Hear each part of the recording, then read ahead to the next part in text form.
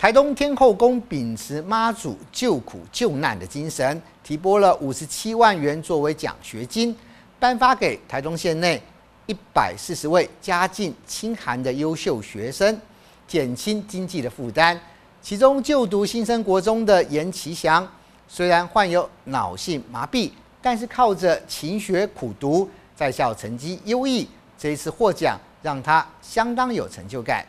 以上五位身躯萎缩变形，必须使用助行器行走。他是就读新生国中八年级的严其祥，是一名脑性麻痹儿。但肢体上的不便，非但没有使他放弃学业，反而是投入更多心力，也因此获得台东天后宫颁发奖学金鼓励。嗯，很开心。啊，老师辛苦了。Yes，谢谢老师帮我申请。他是身障的孩子，他所以在学习上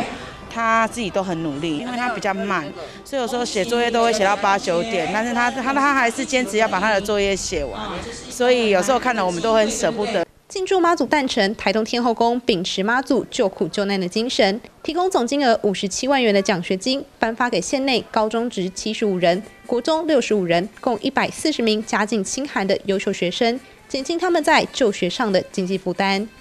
高中一个人要读，领着五千块，国中升三千，还希望这大家领着这个奖学金哦，大家靠。就是就是金钱方面吧，可以就是生活费吧，